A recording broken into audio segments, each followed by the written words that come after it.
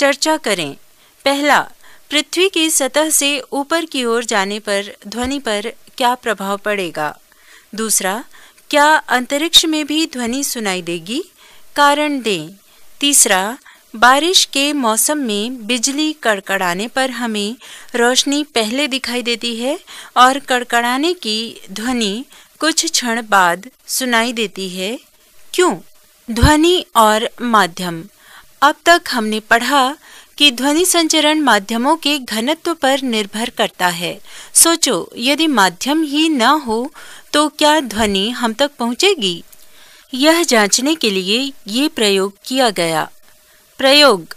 प्रयोग चित्र क्रमांक 6 में एक विद्युत घंटी और कांच का एक बेल जार लिया गया।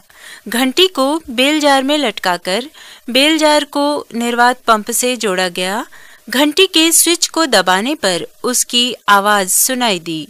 जब निर्वात पंप से बेलजार की वायु को धीरे धीरे बाहर निकाला गया, तब घंटी की ध्वनि धीमी पड़ने लगी। यद्यपि उसमें पहले जैसे ही विद्युत धारा प्रवाहित हो रही थी, जब बेलजार की समस्त वायु निकाल दी गई तो घंटी की ध्वनि बंद हो गई। इस प्रयोग से यह निष्कर्ष निकाला गया कि निर्वात में ध्वनि संचरित नहीं होती, अर्थात ध्वनि को सुनने के लिए माध्यम की आवश्यकता होती है।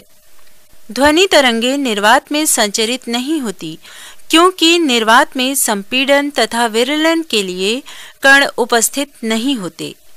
सोचें चंद्रमा पर वायुमंडल न होने पर क्या वहाँ अंतरिक्ष यात्री बात कर पाएँगे? कारण दीजिए।